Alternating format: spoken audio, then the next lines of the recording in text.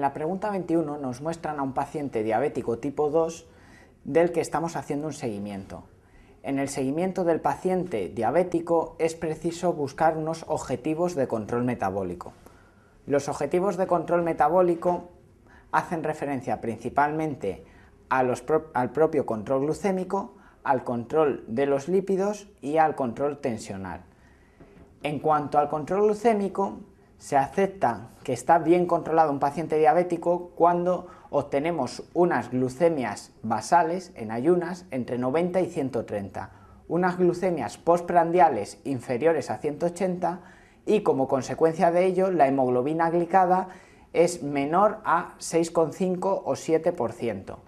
Se usa 6,5 o 7 de forma diferente en distintas guías. La ADA, American Diabetes Association, admite actualmente 7% como objetivo de control glucémico. Sin embargo, la tendencia actual es a perseguir objetivos de control glucémico más ambiciosos, 6,5%, siempre que ello no suponga una tasa inadmisible de efectos adversos del tratamiento. Por tanto, este paciente que nos muestran y que tiene una hemoglobina glicada de 6, aunque no sea una hemoglobina normal, está por encima de la normalidad para un paciente sano, está dentro de los niveles de control deseables para un diabético tipo 2. Por otra parte, en cuanto al control tensional, en el paciente diabético se persigue un objetivo más ambicioso que en un paciente sano.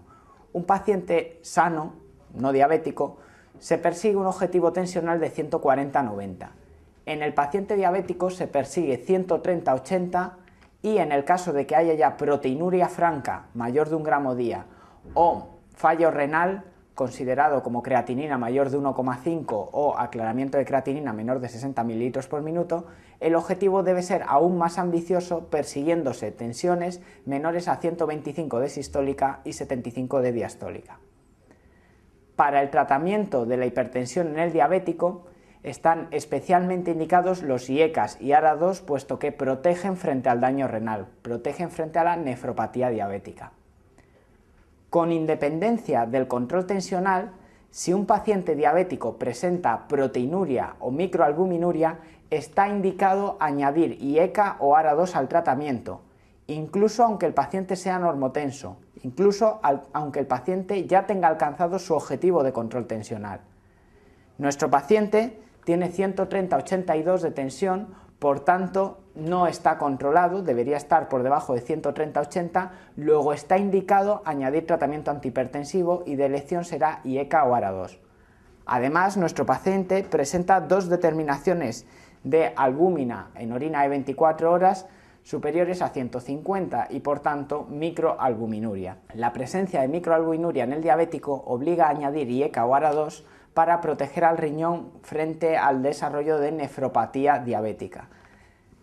Se prefiere, basándose en resultados de estudios, el uso de IECA en los pacientes con diabetes mellitus tipo 1 y proteinuria o hipertensión y el uso de ARA2 en los pacientes diabéticos tipo 2 con proteinuria o hipertensión. En el paciente diabético tipo 2 con microalbuminuria estaría admitido tanto el uso de ARA2 como de IECAS. En cuanto al control lipídico, se consideran objetivos de control cifras de LDL inferiores a 100 en el paciente diabético, cifras de triglicéridos inferiores a 150 mg por decilitro y cifras de colesterol HDL mayores de 50 en la mujer y 40 en el varón. El más importante y al que deben encaminarse los esfuerzos terapéuticos es el control del colesterol LDL. Cuando un paciente diabético presenta eventos cardiovasculares, angina, isquemia, antecedentes de revascularización, está indicado perseguir un objetivo de colesterol LDL inferior a 70 siempre que el paciente lo tolere, es decir, que la intensificación del tratamiento no suponga unos efectos adversos intolerables.